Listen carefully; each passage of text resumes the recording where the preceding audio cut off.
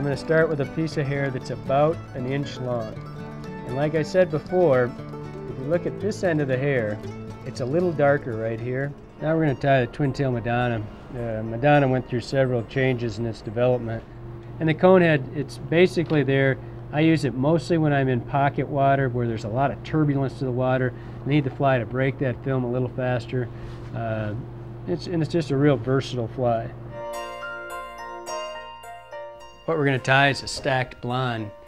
Uh, this is about the most simple fly I've ever tied. It's just a couple, it's got bucktail in it and it's got marabou in it. Not much marabou, it's mostly just bucktail.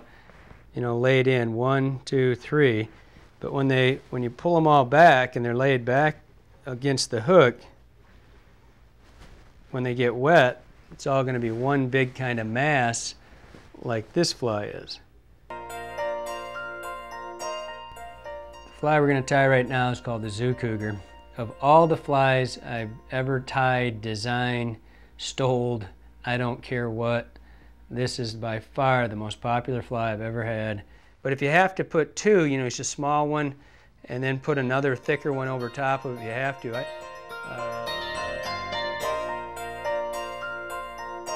what we're going to tie now is um, the, my crayfish pattern, it's just called the Galloup's Craw. I'm just going to palmer this forward through this,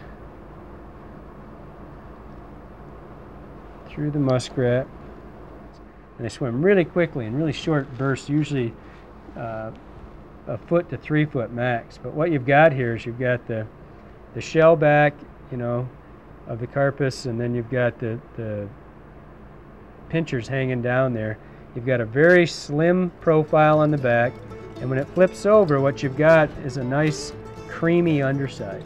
And the creamy underside is critical. I mean, that's what I talked about earlier.